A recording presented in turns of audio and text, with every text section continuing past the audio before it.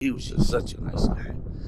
There's nothing he wouldn't do for anybody. For 27 years, Johnny Tetrick dedicated his life to helping others as a Cleveland firefighter. Those that knew him say being a firefighter meant everything. It was everything. I mean, he, he that's who he was. He was he's a fireman.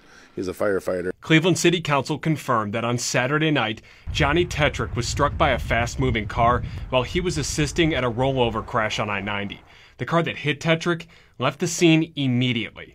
Tetrick was rushed to the hospital where he later died from his injuries, and his former next door neighbor of 10 years, Ronald Tutolo, says this tragedy has been nearly impossible to comprehend. It still kind of keeps you dumbfounded that you know it happened, but at the same time, it's just it's just hard to believe, especially with him. He's just you know, too good of a guy to leave this earth this soon. Tetrick's next door neighbor of 13 years, Corey Bachhoff, agrees. It's just shocking. It's to see. It's never good for anyone hits harder when it's someone you know. Bachhoff says that Johnny was the kind of person that you could always count on.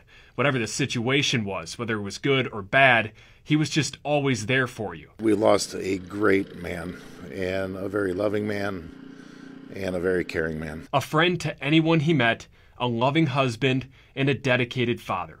Johnny Tetrick was a Cleveland firefighter taken far too soon.